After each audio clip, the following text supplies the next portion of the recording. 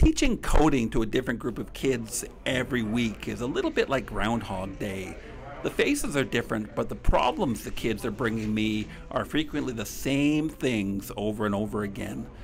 To help you new scratchers out there navigate some of the pitfalls of learning coding for the first time, I've asked my co op students to compile a list of the top 10 most frequent noob errors made by new scratchers. Here it is. Number 10 Invisible Sprites. Sometimes after your game ends and you try to restart it, you'll find your sprites are missing. This is because you're hiding them at the end of the game. Scratch won't remember that you wanted to put your sprite visible unless you put it in the code, so make sure that you put a show block under the green flag to fix the problem. Number 9. Slow down there, buddy. When you add movement to your game, make sure that the values you put in aren't too big or else it will look messy and buggy. You can use smaller numbers and forever loops to make smoother movement. Here's two examples of how smaller movements will make your animations look a lot smoother. As you can see, the cat moves a lot faster than the dinosaur, but it looks worse. When the sprites spin, you can see that both sprites rotate exactly the same way, but the cat rotates by a bigger number. A circle is only 360 degrees, so if you try to make something spin faster than 360, it won't change anything. Number 8. Sound effect glitches in your game. The play sound until done block sounds like the right way to add sound effects to your video games, but this will often glitch out your movement.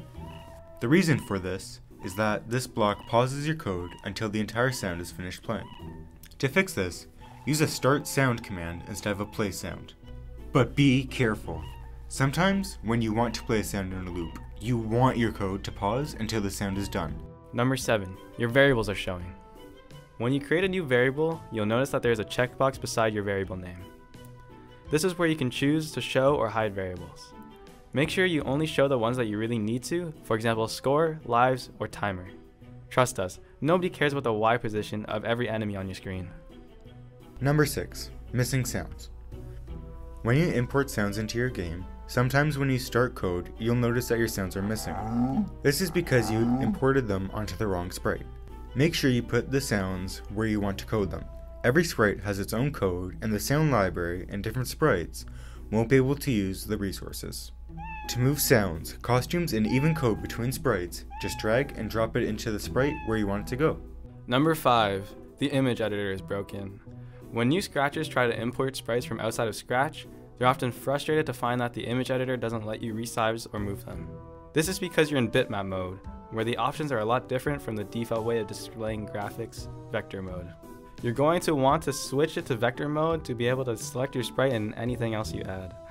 In vector mode, you can use this black arrow tool to select items so you can resize, move, or delete them. Number 4. White backgrounds. Yuck! When you import backgrounds and sprites into Scratch, you'll often find there's a white background behind your image. To make your game look cleaner, Try clicking on the paint bucket tool and telling it to fill the white part of the image with transparent pixels. For even better results, load your image into remove.bg and use the power of AI to remove your background. This website looks best with pictures of people though, so it might not work on sprites that aren't pictures of people. Number 3. Move, don't glide. When you want to move your sprite in a video game, don't use glide blocks.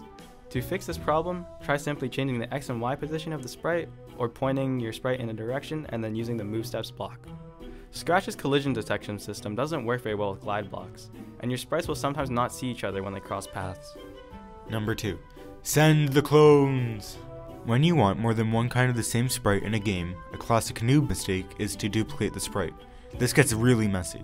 Every time you make changes to your code, you need to modify every single sprite. What you can do is create a clone of your sprite using the Create a Clone of Myself block from the Control tab. After you make a clone, order it around the When I Start a Clone block. As you can see in this example, your project works the same either way, but a clone makes it a lot easier to tweak your project. Number 1. Glitchy movement. When new scratchers try to move a sprite across the screen, they almost always use one of these hat blocks to trigger its movement. Big mistake! Try using an if block inside of a forever loop and you'll see a huge improvement in the lag time it takes before your character starts moving.